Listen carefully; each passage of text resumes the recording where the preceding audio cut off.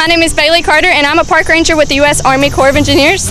As we enter this Labor Day holiday season, I want to remind everybody to be safe while they recreate on Corps rivers and Corps lakes. Today I'm with Liz Linen, and she's about to get on the river and kayak. And we want everybody to wear your life jackets and be safe.